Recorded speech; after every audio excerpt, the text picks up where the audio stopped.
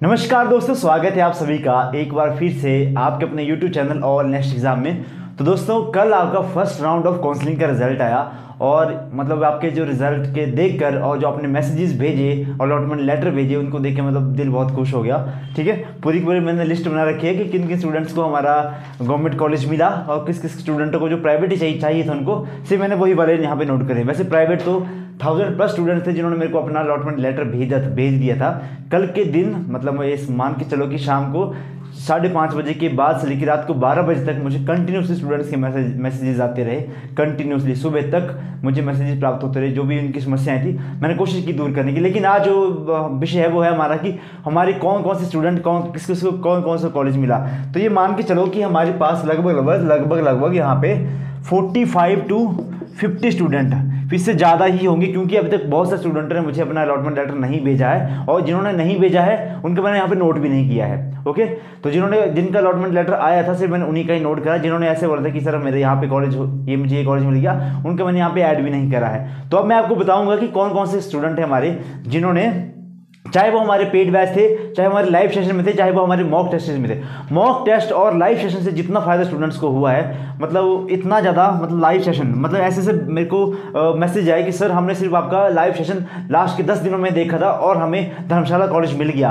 और जो हमारे मॉक थे ठीक है? पाँच मॉक टेस्ट बनाए हुए थे हमने और पाँच मॉक टेस्टों में से कुछ क्वेश्चन तो हूबहू देखने को भी मिले थे। तो मतलब ये हमारे लिए बहुत प्राउड की बात है मतलब ऐसा ही कहूँगा मैं, क्योंकि हमने आठ महीने से, मैंने पहली बार किसी टेस्ट की तैयारी करवाई और एक छोटे से कमरे से शुरुआत करी मतलब कमरा बिल्कुल ऐसे है अनऑर्गेनाइज तरीके से है और इतने ज़्यादा बच्चों को प्यार मिला हमें। लगभग लगभग मान के चलो कि मैं इस आंकड़े को फिफ्टी प्लस मान के चल रहा हूँ, क्योंकि बहुत से स्टूडेंट ऐसे हैं जिनको सेकेंड राउंड ऑफ़ काउंसलिंग में धर्मशाला या फिर एच मिलेगा। इतने स्टूडेंटों को हमारे में गवर्नमेंट सीट मिल चुकी है तो मैं मैं बताना चाहूँगा नाम। सबसे पहले मैं एच वाले का नाम बताऊँगा और इनके साथ साथ मैं प्रूफ के लिए आपको अलॉटमेंट लेटर भी मतलब लगा दूँगा यहाँ पे। अलॉटमेंट लेटर या फिर उनके जो साथ में ग्रेटिंग मैसेज आया था, उसको मैं लगा दूँगा तो आप उसको वेरीफाई भी कर सकते हो, ठीक है? सबसे पहले मोनिका सिंह, जिनका रैंक थ्री था। एक बार मैं आपको बता दूँ रैंक वन जो हमारे सचिन जी थे, उनका सिलेक्शन आपका हाई कोर्ट क्लर्क के लिए हो गया था तो वो उन्होंने तो काउंसलिंग भरी नहीं थी, ठीक है? तो ये रैंक तो हमारा पूरे का पूरा पेटेंट था, इनके वन मार्क्स थे। ये ओवरऑल टॉपर थे, ठीक है? बाकी ये तीन, चार, ये कुछ हमारे पास जो रैंक है, ये कुछ सब कैटेगरी के रैंक है, कुछ कैटेगरी के रैंक है, कुछ जनरल के रैंक है। हो सकता है जैसे तीन नंबर थ्री रैंक के ऊपर हमारे पास चार, पाँच बच्चे हैं अलग अलग कैटेगरी के अलग अलग बच्चे तो मैं सभी को यहाँ पे लिख दिया कि ये ये रैंक है और बहुत सारे रैंक है, ये तो मैंने जस्ट एक नंबर लिख दिया आपके सामने। तो सबसे पहले मोनिका सिंह, जिनको शायद आर्ट्स में थर्ड रैंक है फिर आपका ओबीसी ओबीसी में थर्ड रैंक है, ठीक है? मंजू चौधरी एस जिनको एचपी मिला। इनका नाइन्थ रैंक है, पायल पाँच रैंक है मेडिकल में है, सिमरन राणा। इनका रैंक वन है सब कैटेगरी के अंदर। ये भी शायद मेडिकल की ही है। फिर आपका अजय वर्मा, ये एस टी हैं एक्स सर्विसमैन कोटे से। ये मेडिकल के सॉरी नॉन मेडिकल के स्टूडेंट हैं। फिर शिवानी गर्ग, ये तो हमारे 110 नंबर थे इनके। और इनको मिला है एच इनको भी रैंक इनका भी रैंक थ्री था। फिर है हमारे पास कनिका शर्मा, ये है 109 नंबर थे इनके, छठा रैंक है इनका। फिर है हमारे पास नवेश शर्मा नॉन मेडिकल में थे 103 नंबर थे इनके। भोले चंद, इनका 101 आपका नंबर थे, छठा रैंक है इनका एस ओपन में। सुखविंदर कौर, फिर इनका भी तीसरा रैंक है इनका भी। देखो, तीस, तीन रैंक के एच में हमारे पास तीन है। अलग अलग स्ट्रीम के हो सकते हैं सारे ना। तमन्ना शर्मा, ये तो सुबह ही इनका हमने एडमिट कार्ड निकाला। तो 105 नंबर है, ये भी नॉन मेडिकल के स्टूडेंट थे। और एक और भी थे शायद विशाल विशाल कर करके स्टूडेंट थे, उनका भी एच में अंदर हो चुका है। अब देखते धर्मशाला कॉलेज के लिए। धर्मशाला में निशा कुमारी आर्ट्स 102 नंबर, कृतिका ठाकुर, चौथा रैंक है इनका एक्स सर्विसमैन में रंजना, ये आर्ट्स की हैं 32 रैंक है इनका जनरल की हैं भी। कृतिका, ये कॉमर्स में आई हैं, इनका सब कैटेगरी रैंक शायद शायद सेवनटीन था। सौरभ कौंडल, ये था थर्ड रैंक है इनका, ठीक है? इन्होंने एच वो धर्मशाला के लिए भरता शिल्पा देवी मेडिकल की हैं फिर आपका रूहानी ई डब्ल्यू एस कैटेगरी के हैं, और ये तो हमारे सारे पेड बैच के स्टूडेंट थे, पहले पहले वाले। जो पहले पहले पेड वाले वाले बच्चे हैं, वो मुझे सारे याद हैं, ठीक है? तो क्योंकि फ़र्स्ट टाइम हमने तैयारी करवाई थी, कुछ स्टूडेंट हमारे साथ जुड़े थे तो उनका नाम एग्जैक्टली याद है। चंपा, ये भी हमारे बस, हमारे पेड बैच के स्टूडेंट थे, एक सौ दो नंबर और इनका रैंक था सेवन रूहानी का रैंक है फाइव ई डब्ल्यू कैटेगरी में।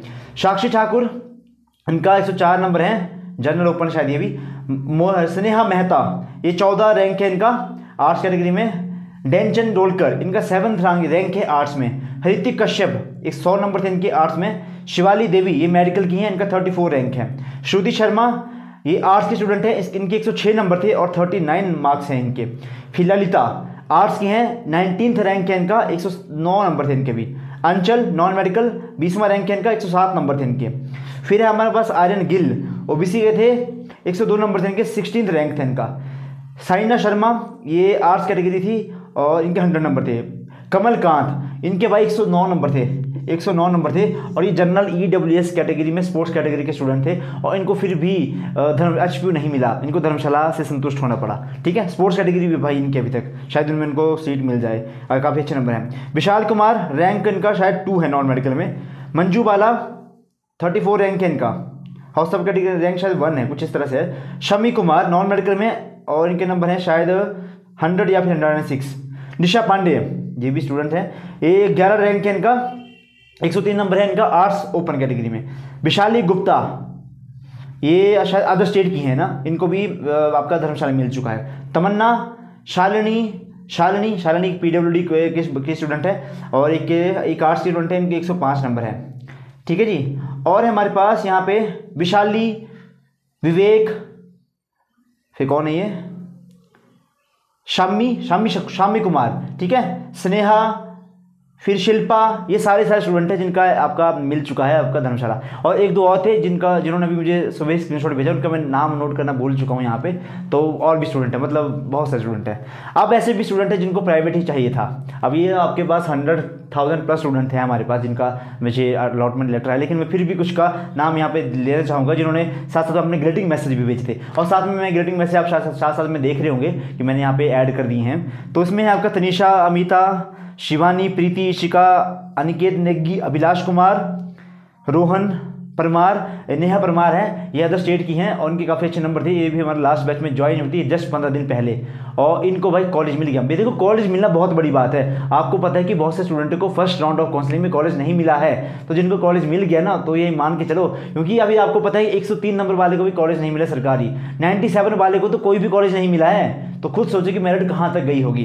फिर है ईशांत, युवनिका, अंजना कुमारी, अंशिका, शानू शर्मा, रितिका, ईशांत फिर आपका शिवानी, प्रियंका, प्रीति, ये सारे सारे ऐसे स्टूडेंट हैं। अभी बहुत सारे स्टूडेंट हैं जिनको प्राइवेट ही चाहिए था। और जिन्होंने अपने साथ में बहुत ग्रीटिंग भेजे थे, कुछ इशू होते हैं, कुछ स्टूडेंटों के, कि उनको पता है कि उनको अगर एच में या फिर धर्मशाला में हॉस्टल नहीं मिला तो खर्चा तो बराबर ही आने वाला है। तो क्यों वो धर्मशाला जाएँ? कहाँ से?